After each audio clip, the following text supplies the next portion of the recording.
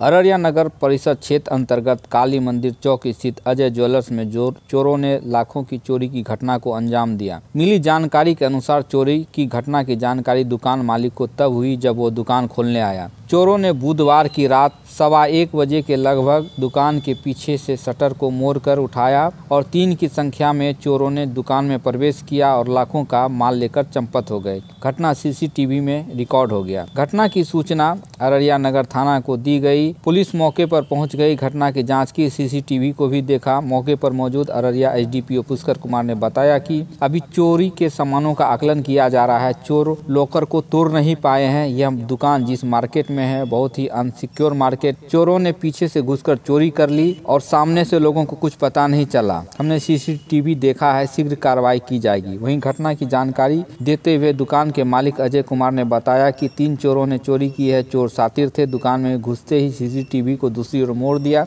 यह पूछे जाने पर कि कितने की चोरी हुई है तो उन्होंने कहा कि अभी आकलन कर रहे हैं, उसके बाद बताया जाएगा।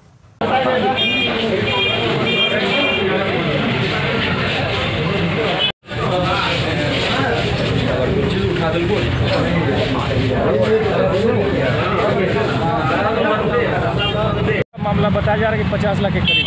नहीं नहीं, अभी तो कोई आकलन ही नहीं किया गया, कोई सामान भी नहीं सीसीटीवी में देखा गया है चूँकि इनका लॉकर नहीं टूटा है, और जो डिस्प्ले में सामान है सिल्वर का, वही सब गया होगा, अभी तो उनसे बात हो गई है। चोरी है, और उसमें वो चोर कब आ रहा है, इसको डिटेक्ट कर दिया जाएगा। चूँकि मार्केट इतना गलत तरीके से ये बना हुआ है कि आगे से शटर लगा दिया गया, और पीछे इसमें कोई शटर लगाने का प्रावधान नहीं था तो पीछे से घुस गया, जो कि पता ही नहीं चलेगा। और अनसिक्योर्ड मार्केट बनाया गया है। जबकि ये ज्वेलरी की दुकान है इसको सिक्योर्ड रहना चाहिए। तो पीछे से पूरा ओपन था। उसी से शटर को वो किसी से फैला करके घुस के और जो डिस्प्ले में सामान था इनका जो लॉकर है वो लॉकर वॉकर को नहीं तोड़ सका है। और वो उसको फैला करके उससे सामान की चोरी हुई है अभी आकलन नहीं किया है। इनके द्वारा एफ़ आई आर दर्ज की है तो बताया जाएगा कि क्या है। ऐसे हम लोग